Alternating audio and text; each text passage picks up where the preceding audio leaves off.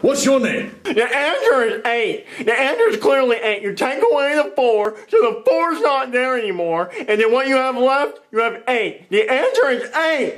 Dumb! Dumb, dumb, dumb, dumb, dumb, dumb, dumb! You dumb! But, uh, but you get gold star because I mess up.